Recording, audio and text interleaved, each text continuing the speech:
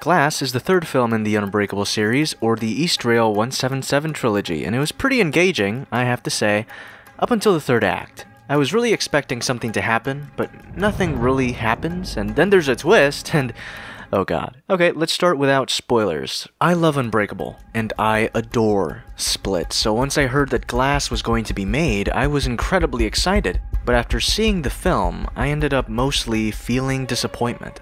Glass has this problem of being way too focused on its plot and completely forgets its characters. And I know that sounds stupid, but what I mean is that there are very few moments in the movie that make you feel like David Dunn, Kevin Wendell Crumb, and Elijah Price are real people. This mostly happens to Dunn, by the way. Shyamalan's film Unbreakable had moments which felt grounded and real for a superhero film. That's what's so great about the Unbreakable series. Everyone feels very believable despite their situation or abilities. I don't even really consider Unbreakable and Split superhero films. Glass, I think I would. Now, David Dunn in Unbreakable was a family man who felt very human, and this was all due to him having a son and a wife who he constantly interacted with. We saw his struggles and problems, and when he discovers his abilities, we end up understanding who the character is. This is because we see the movie through his eyes. But in Glass, it seems as if Shyamalan is emanating what he remembers David Dunn as this tough, kind, strong man, but doesn't remember why he thinks of Dunn that way.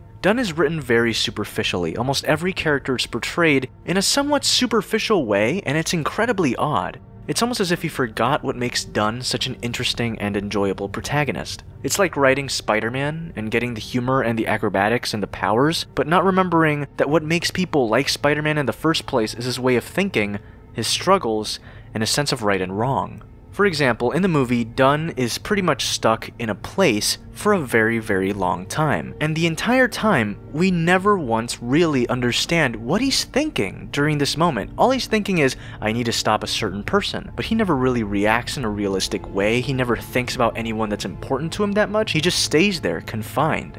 Because of the lack of characterization, it gets a bit hard to stay interested during the second act. Thankfully, James McAvoy's performance is incredibly engaging all the way, and Samuel Jackson is given enough material to work with to be somewhat interesting. Anyways, James McAvoy as Kevin Wendell Crumb, or the Horde, is never boring to see on screen. The fact that the man can inhabit so many different personalities is such a treat to see, and the Beast is pretty freaky. I chuckle at the beast in the trailers and stuff, but when you see it in the film, it's pretty haunting, at least to me. I really do think the directing of this movie is absolutely fantastic, especially when James McAvoy is on screen.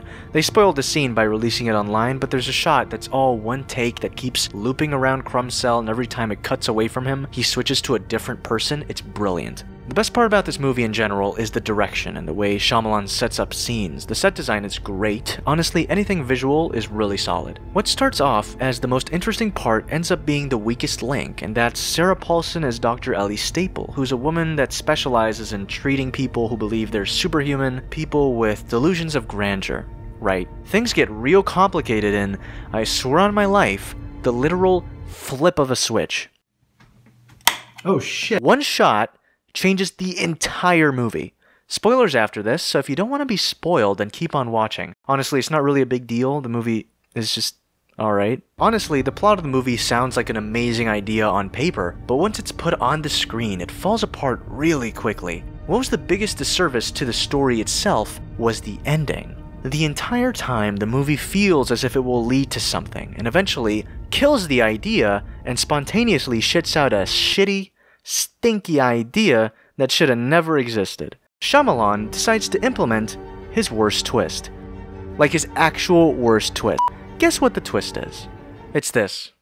Th- th- that's it. So at the end of the film, the core cast is fighting, except Mr. Glass, because, you know, he can't. We get the reveal that Kevin Wendell Crumb's father was actually in the Eastrail 177 train that derailed, which means that Mr. Glass is the reason why Crumb's father is dead. So I really enjoyed that. I heard a certain twist made people mad, and I didn't expect there to be two twists. After this scene, I was like, alright, this movie's not as terrible as people say.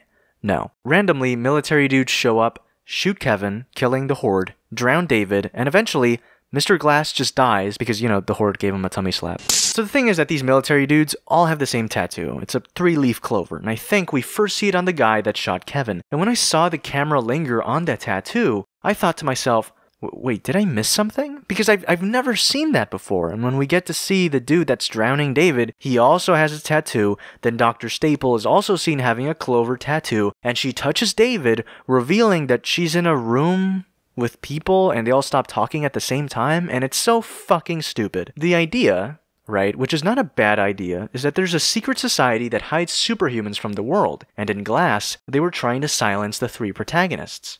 How does that make any narrative sense? It's not like the movie was building to a reveal to that moment. It feels really ham fisted. The movie is very inspired, and the idea is there, but the execution is so absolutely terrible that by not sticking the landing, everything up to that point feels pointless. The journeys the characters take feel meaningless because the plot twist at the end didn't really feel earned. Nothing sets it up. It's not like if you pay attention, you'll notice clovers everywhere. I mean, hell, maybe there are. I only saw the movie once, but I'm pretty sure the movie isn't secretly covered in clovers. The characters that die, their stories and their aspirations don't die with them. They're carried on by the side characters David's son, Elijah's mom, and Casey. But even so, how the movie got to that point is really weak, at least to me. The movie starts off really well, it's engaging. The second act is thought provoking, even though Dr. Elsey's rebuttals that superhumans can't exist make no sense. And I really love the idea that comic books are inspired by real life, and afterwards, life imitates art.